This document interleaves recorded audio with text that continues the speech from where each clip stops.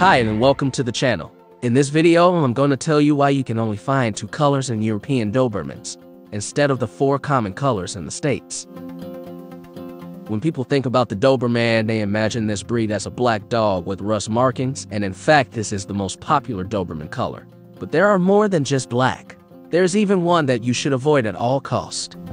If you're getting a Doberman in the United States, probably you will find four different colors. Black, red, blue, and fawn. But if you're getting a European one, you'll have just two colors available, black and red. There are two main Doberman standards that breeders try to conform their dogs. The American Standard, also known as AKC, and the International Standard that Europeans use, the FCI.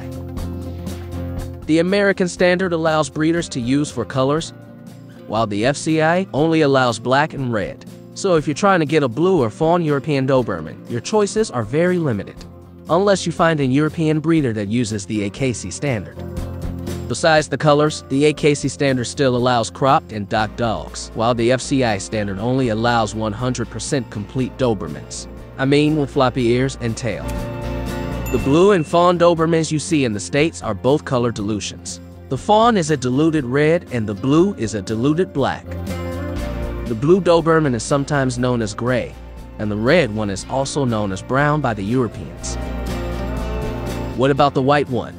Well, white Dobermans are albinos and are not considered by the AKC or FCI standard. In fact, it's not even a color, and they tend to have severe health problems. The term white Doberman is used by unethical breeders to sell overpriced dogs that don't even are accepted as a pure breed by the two standards.